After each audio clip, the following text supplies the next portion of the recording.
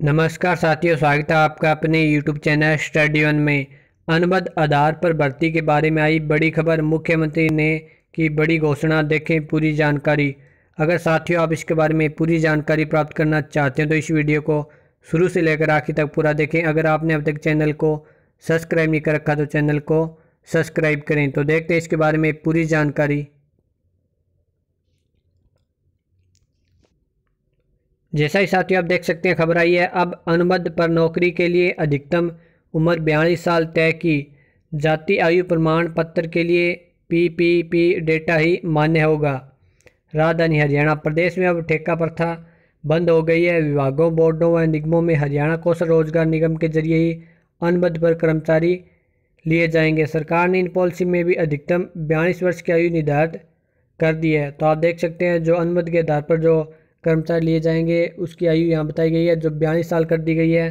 पहले आयु सीमा स्पष्ट नहीं थी, अब निगम की ओर से दी जाने वाली नौकरियों में भी सामाजिक, आर्थिक आधार के पाँच अंक दिए जाएँगे। तो आप देख सकते हैं नोट डाउन कर सकते हैं यहाँ पे। तो यहाँ बताया गया है कि सामाजिक और आर्थिक आधार के जो पाँच अंक दिए जाएँगे, इसके अलावा परिवार पहचान पत्र लागू हो गया है। लोगों को जाति, मूल निवास, आयु प्रमाण पत्र की ज़रूरत नहीं होगी। यहाँ पर देख सकते हैं, अच्छी खबर है। अब और दोस्तों, यहाँ पर बताया गया कि लोगों को जो जाति और मूल निवास और आयु प्रमाण पत्र की ज़रूरत नहीं होगी पी पी पी का डेटा ही मान्य होगा। तो दोस्तों, जो परिवार प्रसारण पत्र का जो डेटा मान्य होगा, सोमवार को हरियाणा के छप्पनवें स्थापना दिवस पर यह घोषणा मुख्यमंत्री मनोहर लाल ने की। उन्होंने कहा कि हर क्लास वन अफसर एक गाँव को गोद लेगा, डीसी रेट को अब निगम रेट कहा जाएगा। ये रेट अनुबंध पर नियुक्त कर्मचारियों पर भी लागू होंगे।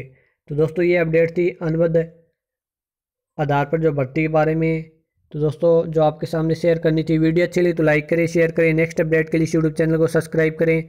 धन्यवाद, मिलते हैं नेक्स्ट वीडियो में।